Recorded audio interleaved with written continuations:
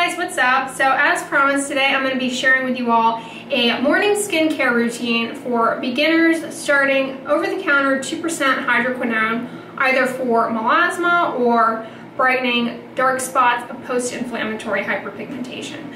I have a prior video that is a Q&A all about hydroquinone if you have questions about it, so make sure you check that out. Um, this is the over-the-counter 2% hydroquinone that I'm going to be using today for um, purposes of this video. It is MD Complete. Um, I reviewed this for you all a while back. This is available over-the-counter in CVS and Target.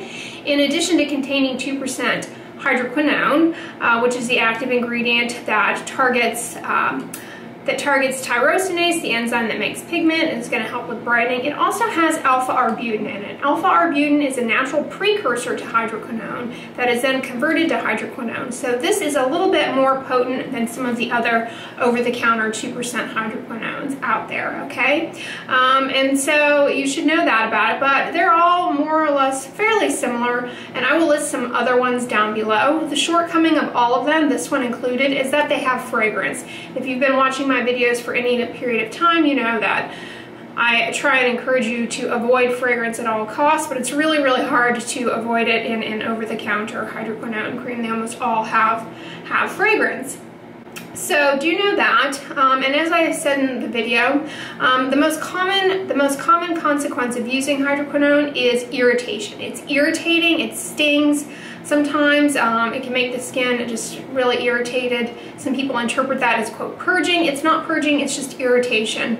And um, the thing that is really, really important for, for using this and for treating dark spots melasma to get you the best results and to make this go as, as well as possible for you is you have to really, really focus the skincare routine on sun protection and minimizing any other kind of irritating ingredients along the way, okay? So hopefully in this morning's skincare routine, I'm gonna show you how I do that. And again, this is for dark spots, um, you know, healing acne that heals with a dark spot or melasma, now, if you all have watched my skincare routines for any period of time, you know that first thing in the morning, I start out washing acne-prone areas of my face with a 2% salicylic acid face wash. I'm currently using this La Roche-Posay one.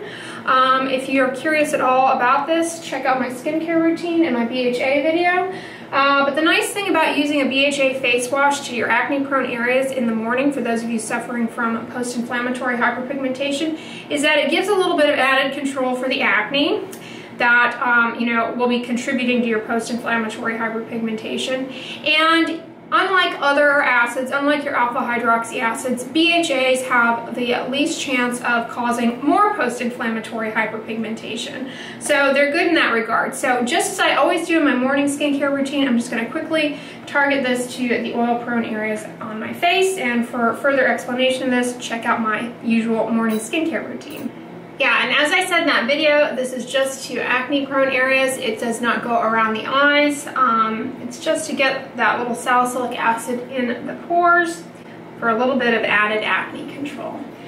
So now I'm just gonna rinse this off as per usual. All right, just as I show in all my skincare routines, now that my face has then insulted with water. Yes, water is an irritant and can further dry out your face because as it evaporates, it takes water with it and leads to transepidermal water loss and dryness. That dryness can further lend itself to irritation, which can cause more post-inflammatory hyperpigmentation. So I'm just gonna put on the brakes here on a little transepidermal water loss with my fragrance-free Hada Labo Super Plumping Gel Cream as I verbalize my skincare routine. All right, now that I've got the Hada Labo Super Plumping Gel Cream on there, I'm now going to seal in that moisture with a moisturizing combination sunscreen. This is a zinc octinoxate sunscreen that I really like by EltaMD. It's the UV Clear. I like this one uh, because it is very moisturizing and now it won't clog pores. now it's not greasy. It doesn't sting me. Stinging is something I can never predict or explain. It happens with with a small, with a certain percentage of the population no matter what what it is is going to sting or burn when, when they put something on their face. Um, there are a variety of reasons, so it's hard to say for sure, but this does not sting or burn me. It's very, you know, minimal ingredients. The other ingredient in this that is great for people targeting dark spots and melasma is niacinamide, which can have a brightening effect. Um, but at this point, I'm largely putting this on as a moisturizer. before the hydroquinone, okay? Because I'm going to keep layering sunscreen on, but first of all, I'm going to use this almost like a, a moisturizing sunscreen primer. Listen to me. Stealing made up words from the makeup industry, primer. Whenever I hear primer, I think to myself, that sounds like something, as Zoolander would say, to teach kids to read good. Not like something you put on your face, but um, far be it for me to, uh, to question the uh, nomenclature of the beauty industry. and by having the skin hydrated and moisturized before putting the hydroquinone on, it reduces the chances of irritation from the hydroquinone. So I've got a good moisturized, moisturizing layer on with some baseline protection. Alternatives to the Elta MD UV Clear that you could also use in this morning routine that I love, CeraVe AM is another one that you can get at the drugstore that is likewise a combination sunscreen with zinc in it and niacinamide in it. Many people complain that this stings them. I can't explain that. Um, this one, fewer people complain of that they have similar ingredients, slightly different filters, but um, hard to say for sure. And then another one that you could also try is the um, MD Complete Youthful Skin Sun Shield. This is another good combination sunscreen that is moisturizing and would achieve the same thing. Who else do I have here? I can list some others down below for you guys. All right, so now my skin is hydrated, moisturized, and has a sunscreen primer, if you will, layer on it. Um, and so I'm gonna come in with um, one pump of the MD Complete Dark Spot Corrector to areas of my face where I want to target it. If you want to go for the entire face, you can use two pumps, okay? Um, you want to make sure to spare around the eye area. So to keep yourself from getting it in those areas, to be extra cautious, you could use a little Van, uh, Vani-Ply ointment, Vaseline ointment, or CeraVe healing ointment, okay? I'm not going to do that um, right now, but that's something else that you could do, okay? All right, so see, it dispenses a perfect pea. That is really all that you need, okay, for most hyperpigmentation concerns. Melasma is generally in the mask area here on the cheeks, um, and that's this is more than sufficient. This is more than a sufficient amount of a product to target that in a thin film. So I'm now going to apply that, um, let's just say um, in a melasma mask area here on my face, okay? You could also do it around the jawline if you have some post-inflammatory hyperpigmentation there. Um, you could also do this on the backs of the hands in a similar manner, although you probably wouldn't be using the salicylic acid face wash like I did, um, but that would be another way to use this if you have sunspots on the back of the hands that you're trying to target. now, as I said, this product is very is going to be very irritating. So you don't want to go using a ton of it, just use a tiny amount as I showed. Um, and the way to start using this is to, in the beginning, for at least the first week, just use it every other day in the morning as I'm showing you here. And if it's not too irritating um, and you feel comfortable with it and it's going well, then um, by the second or third week, you can go to using it every day in the morning. Um, and if that is okay after a few weeks, then you can try using it twice a day, okay? You can use it in the evening. All right, so now that the hydroquinone has set up on there and has dried and is in place, um, now I'm going to put on sunscreen, another layer of sunscreen, okay? And for this layer, I'm actually going to use a different sunscreen. I'm gonna be using the Murad City Skin Age Defense Broad Spectrum SPF 50 PA++++++. This is a expensive, albeit, sunscreen, but it's a good one for people with dark spots and melasma. It is good because it is exclusively mineral, it has zinc and titanium, so it gives good protection against UVB, the, can the cancer-causing rays, as well as UVA, those rays that penetrate deeply and drive post-inflammatory hyperpigmentation. So it's really good in that regard, but it's also awesome in that it has um, iron oxides in it. Iron oxides um, will give you some protection into the broader wavelengths of visible light that drive post-inflammatory hyperpigmentation and melasma. So this is a really phenomenal, albeit expensive, sunscreen for people with dark spots and melasma. An alternative to this one that is also very good and expensive um, actually, I think it's not, I don't think it's quite as good, but um, it's an alternative. And it is the Clinique Broad Spectrum SPF 50 Mineral Sun Fluid Shield. Again, I believe this also contains iron oxides and is a exclusively mineral sunscreen that is fragrance free. Um, it's really expensive, unfortunately. I mean, like really expensive. This tiny little bottle is really expensive. So, you know, that's another one that people will just ask me about. so I'm mentioning it here. Um, but it is a good one. All right. As far as stuff you can get in the drugstore though, that is not like gonna break the bank. Another one that I'm a fan of is the Cetaphil Redness Relieving Daily Facial Moisturizer. This one has a tint in it. It has iron oxides and is a mineral sunscreen an exclusively mineral sunscreen. The tint in this is a little on the orangey side though, so not everybody is going to find that that works for their skin tone. You can see it's got a little orangey tint to it.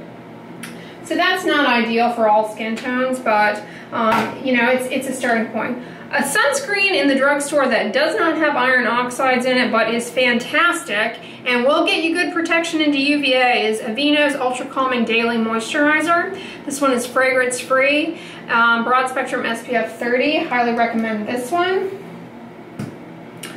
And then another drugstore one that you could also do that is a combination sunscreen. So it is zinc and octinoxate, um, but is very affordable, is Coppertone Sensitive Skin Faces SPF 50. A note about this one, it is the exact same sunscreen as the Coppertone Water Babies. So that is an, another alternative. This one won't break you out, uh, but it is pretty heavy and it does leave a pretty substantial white film, okay? I'm gonna list several sunscreens down below for you guys that are all good in this routine. Um, these are just some that I happen to have on hand that I'm showing you guys here.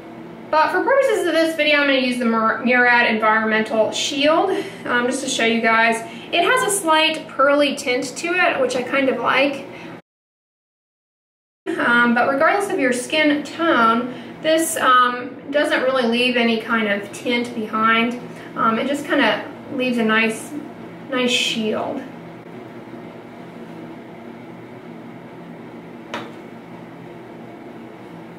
But you want to make sure that you get all surfaces, so I'm going to get a good, good layer on my forehead,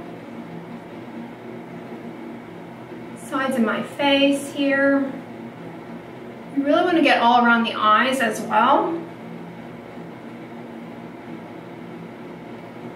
Can't overdo it with sunscreen.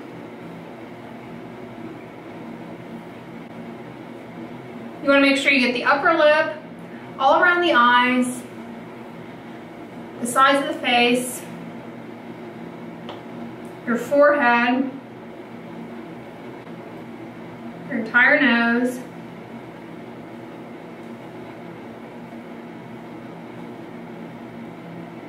your chin, your lips,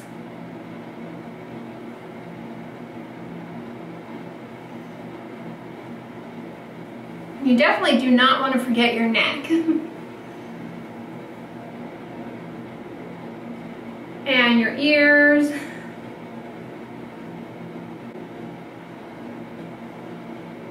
And when sunscreen first goes on, it looks greasy and shiny. Everybody wonders about that. They're like, I look like an oil slick. Eventually that, eventually that rubs in and soaks in and you're fine.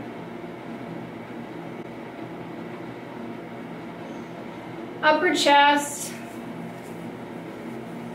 Now these are all areas you want to make sure that you get your sunscreen on, but you know, the sunscreens that we like on our face can be a little bit more expensive than the sunscreens than the sunscreens we'll put up with on our body. So for example, you may find that the Coppertone Water Babies is too white and casty for you um, to put on your face, but you can tolerate it on your body. So rather than using your expensive face sunscreen on your body, just use that one. Um, but the Murad one, it's expensive, but it, it does have some good players in it for people looking to target dark spots and hyperpigmentation.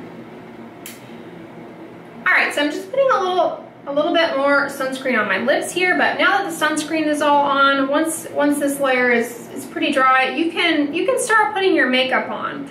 I have a hard time because I don't really wear makeup. All I wear is, you know, mascara. I have a hard time advising you guys on how to go about selecting sunscreens that don't pill up under your makeup because a lot of the ones that are best, the mineral ones, the zinc, titanium dioxide, water resistant ones, those are going to make a nice film, a nice water resistant film, and a lot of the cosmetics are not going to layer on top of that very well. Mineral makeups tend to play a little bit better is my understanding. Your mineral powders, however, should do okay. Um, do, do know, however, that the mineral powders, while they um, have some SPF in them and talk about being sun protective, they are not um, a good means of sun protection alone because they don't they don't give an even monolayer of sun protection or reliable um, application of SPF. So don't rely on powders, sprays, or sticks for your sun protection, okay? You really need a good base layer sunscreen that you apply to, uh, over the entire face at least two to three times a day, particularly when you're using hydroquinone because of the irritation particularly when you are trying to target dark spots and melasma. It is really, really, really, really the most important part of getting the dark spots to fade more quickly. So, you know, that really should be the priority. It's really difficult with makeup in terms of reapplying the sunscreen and not messing up the makeup, it becomes difficult. So some of the mineral powders can kind of be helpful for when you reapply and then you know you want to touch up your makeup. They do play a little bit better. Um, I've been using the Colorescience Total Eye 3-in-1 um, Broad Spectrum SPF 35 Eye Renewal Therapy or whatever. Um, I use this as a tinted sunscreen under my eye area, uh, you know, where I have some dark spots and melasma that I want to, some dark spots, hyperpigmentation that I want to, to mask. Um, and this is nice because it's mineral and it has iron oxides in it, so I get a little bit of extra protection in that regard. And it goes well with my skin tone. I like this one. Um, they have a they have a powder, a mineral powder. Maybe I could try that one out and see how it does. But yeah, that's basically the um, morning routine with hydroquinone, starting hydroquinone. Key take home points Go very, very slowly when starting hydroquinone. Again, every other day um, until you get used to the irritation. Make sure that you are really, really conscientious of your sun protection, your sun exposure. Check the UV index in your area so that you're just uh, keenly aware of how, how bad the day is gonna be and how um, you know, aware you need to be, but always, always, always, regardless of the UV index, you need to be reapplying sunscreen when using hydroquinone or just when trying to get rid of dark spots, melasma, or just because you have skin. Skin needs protection, okay? So really, really, really just dial in your focus to sun protection when you're using hydroquinone. Minimize the use of essences, anything with fragrance, any kind of toner or harsh astringent, just just back away from all of that. Just channel in the focus to sun protection and getting used to the irritation of hydroquinone, okay? Don't try and peel the skin if this is irritating. Don't try and buff the skin. Don't try and do any of that. Just focus on sun protection, okay? Um, and and that will give this that will give this the best opportunity to to get you improvement in the dark spots and melasma. This is not a permanent solution oftentimes. Oftentimes when you stop the hydroquinone, the dark spots and melasma come back, as I said in my Q&A, so be prepared for that. Using sunscreen along with this, however, will get you better results. We have good data to show that. You know, using hydroquinone can get people to sometimes in the 80% improvement range. Using it with a broad spectrum sunscreen can get them into the 96%. It is key. And using sunscreen alone can get you better. So it's something that is really, really important, okay? So I hope this skincare routine for starting hydroquinone was helpful to you guys. But if you liked this video and it was helpful, give it a thumbs up, share it with your friends, and as always, don't forget, sunscreen and subscribe. I'll talk to you guys tomorrow. Bye.